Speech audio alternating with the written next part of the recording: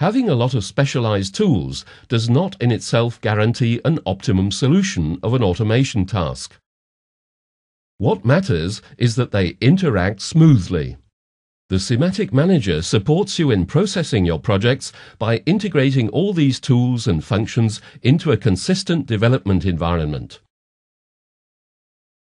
Structurally, the Simatic Manager consists of a number of powerful tools for project processing, such as the hardware configuration, the network configuration, editing the symbols, the various testing and commissioning functions, as well as archiving the project data. Furthermore, the Simatic Manager manages the editors for program generation, as well as the optional software packages such as the programming languages S7SCL or S7 Graph, operating and monitoring systems such as WinCC Flexible, or runtime software such as PID Control, only to mention a few.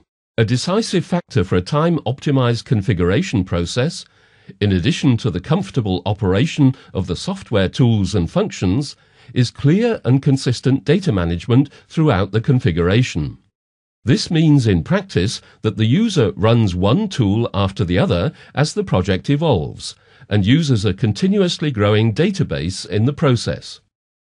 The tools used can access this database at any time, so that project data, such as the symbols used in a project, can be used by all the tools once they have been entered. In this way, double data input and inconsistencies are avoided. We will now show you what the project data look like in the Simatic Manager as seen by the user. The entire automation system is organized in a hierarchically structured project, whose function is the organized storage of all data and programs generated in the course of solving an automation task.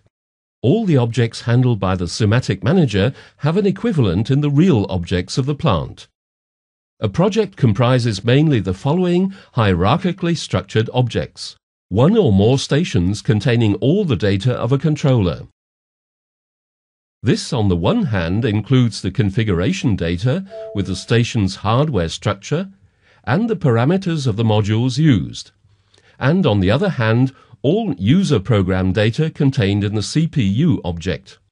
The CPU object has the connections of the CPU assigned to it, and the S7 program contained in the CPU.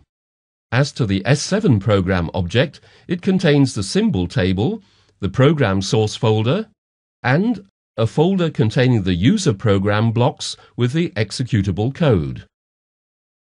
By means of this hierarchical project structure, the data generated in different areas of the project are assigned clearly and easily to the associated objects. These can of course be changed on demand. In multi-user mode, multiple users can edit a project at the same time.